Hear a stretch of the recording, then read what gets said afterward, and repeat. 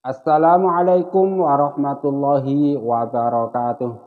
A'udzu billahi minasyaitonir rajim. Bismillahirrahmanirrahim. Alhamdulillahi rabbil alamin. Allahumma salli wa sallim ala sayyidina Muhammad wa ala ali sayyidina Muhammad amma ba'du. Kaum muslimin rahimakumullah, marilah kita sama-sama melanjutkan belajar membaca kitab Sahih Bukhari karangan Imam Bukhari. Kali ini kita sampai pada kitab keempat bab ke-51. Pada bab ke-51 ini Imam Bukhari menuliskan babun man madmadha minas sawiki walam yatawaddo. Berkumur-kumur sesudah makan sawik dan tidak perlu berwudu lagi. Kaum muslimin rahimakumullah. Pada bab ini, Imam Bukhari itu mau menceritakan kepada kita bahwa kalau kita makan sawit, itu hanya perlu berkumur-kumur, tidak perlu berwudu.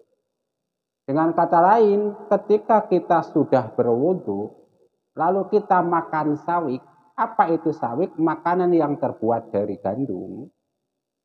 Itu tidak membatalkan wudhu.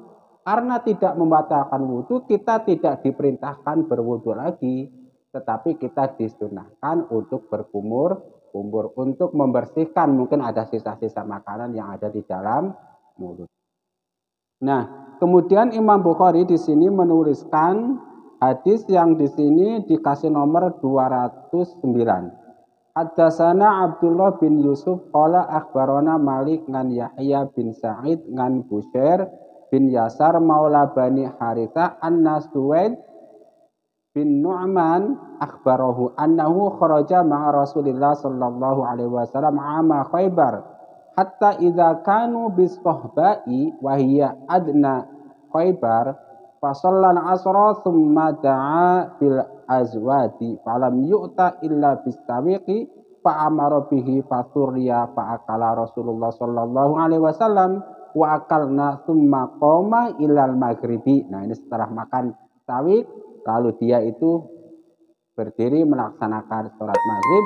Famat maldo wamat madna summa sholat walam yatawaddo. Nah, setelah makan bubur sawit, Rasulullah SAW kemudian berkumur-kumur lalu melaksanakan sholat tanpa berwudu kembali. Lalu hadis yang kedua, hadis yang di sini ditulis dengan nomor 210. Wa sana asbal qala akbarona Ibnu Wahabin qala akbaroni Amr ngan Buker ngan Kureb ngan Maimunah anna Nabiya sallallahu alaihi wasallam akala indaha katifan thumma shalla walam yatawaddo. Nah, di sini diceritakan bahwa Rasulullah sallallahu alaihi wasallam memakan paha daging setelah itu kemudian beliau sholat tanpa berwudu kembali. Kaum muslimin rahimakumullah, mudah-mudahan bermanfaat. Jangan lupa like dan subscribe channel ini. Rabbana taqabbal minna innaka antas samiul alim wa tub alaina innaka antat tawwabur rahim. Subhanakallahumma wa bihamdika asyhadu an la ilaha illa anta astaghfiruka wa atubu ilaik wal afa minkum wassalamu alaikum warahmatullahi wabarakatuh.